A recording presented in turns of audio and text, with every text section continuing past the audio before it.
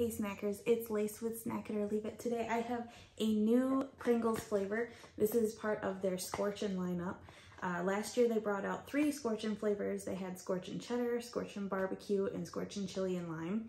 Um, my favorites at that time were the uh, Scorchin' Cheddar and the Scorchin' Chili Lime. Those are very good. Wasn't a fan of Scorchin' Barbecue.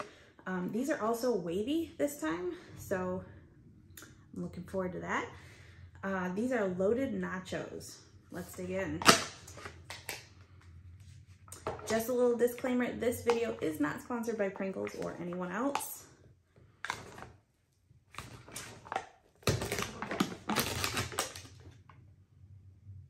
So immediately I smell a very strong hint of jalapeno.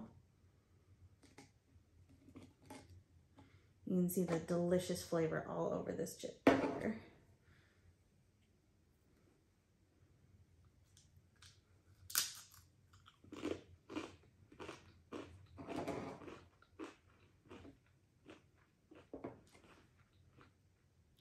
Definitely a strong jalapeno flavor.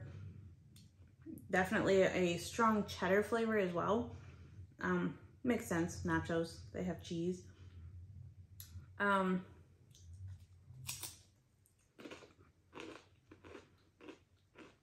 I could see how these could get kind of addicting. There's just enough spice where you feel it, definitely on the on the surface of the tongue, not really at the back of the throat. Um, but it's definitely a strong jalapeno flavor, definitely a strong cheddar flavor. I would, yeah, I would call it um, a nacho flavor. Um, overall, not bad. I give it a snack it, absolutely.